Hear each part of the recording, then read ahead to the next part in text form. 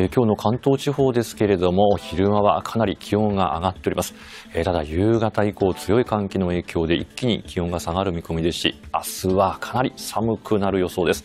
えー、まず現在の気温をご覧いただきましょう、えー、東京都心現在15.1度もあります、えー、今日の日中だいたい17度前後まで上がる見込みでして、まあ、昼間についてはもう桜が咲き始める頃の、え気温に該当するんですけれども夕方以降一気に気温下がっていきます。でその原因ご覧ください。上空1500メートル付近の温度の予想になります、え関東地方については日中はまだこのマイナス6度線というのがこう折り切らないような、まあ、状況で南の気団の方がまあ優勢になっているんですけども、えー、だんだんと強い寒気、どんどんどんどん降りてきます。で、これ明日の構図になってしまうんですけれども、明日の図についてマイナス6度がこのように関東付近まで降りるということになりまして、これで気温がかなり上がらないんですね。で、予想気温ご覧いただきましょう。で、明日については